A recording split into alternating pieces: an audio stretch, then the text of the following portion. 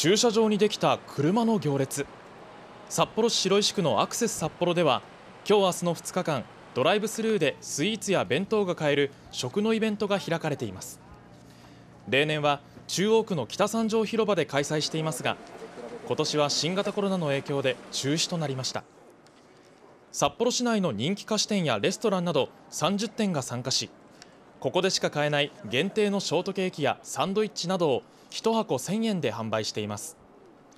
購入には予約が必要で締め切りまでにおよそ1300個の注文があったということです。